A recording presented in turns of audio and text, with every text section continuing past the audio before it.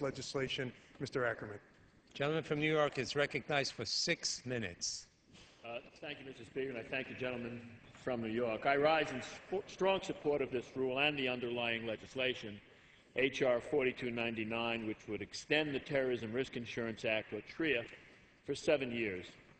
TRIA is a vital program that has made effective terrorism insurance coverage available across this nation by creating a federal backstop to share with the insurance industry the burdens of losses caused by catastrophic acts of terrorism upon our country.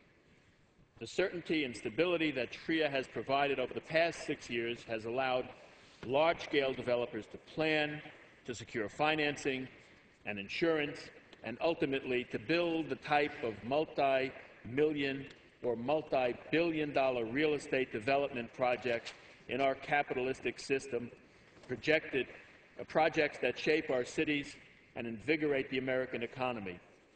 With TRIA set to expire at the end of the month, I am particularly grateful that our leadership and Chairman Frank and our friends on the minority side are insisting that Congress renew this vital program before we run out of time and ensures our forced in an act of self-preservation to abandon our nation's largest projects.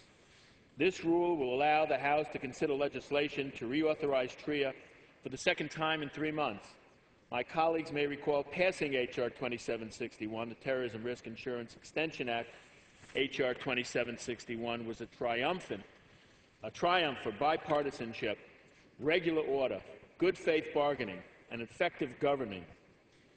It sought to extend TRIA for another 15 years and added group life insurance to the program, lowered the program trigger, provided for nuclear, biological, chemical, and radiological, the so-called NBCR coverage, and most importantly, Mr. Speaker, H.R. 2761 included the so-called reset mechanism, which in the wake of a catastrophic terrorist attack lowered the nationwide program trigger and decreased the deductibles for any insurer that paid out losses after an attack on our country. This provision was and is absolutely critical to meeting the demand for terrorism insurance across our nation especially in our high-risk areas. On September 19th, the House overwhelmingly passed H.R. 2761 with a bipartisan vote of 312 to 110. And with the clock ticking toward the program's expiration date, we waited for the Senate to act. And we kept waiting. And we kept waiting. And we waited some more. Then, once the House had adjourned for Thanksgiving, and only once the House had adjourned for Thanksgiving, the Senate quickly passed by unanimous consent a shell of a bill that simply extended the out the key provisions that were vital and put in there on a bipartisan House-passed bill.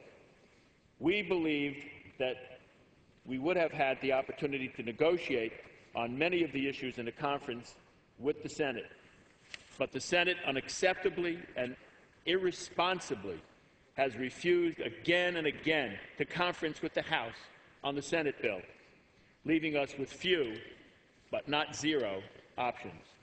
Mr. Speaker, this rule will allow the House to consider a compromise bill that accepts the Senate's position on the extension period, as well as the Senate's opposition to protecting us with NBCR coverage.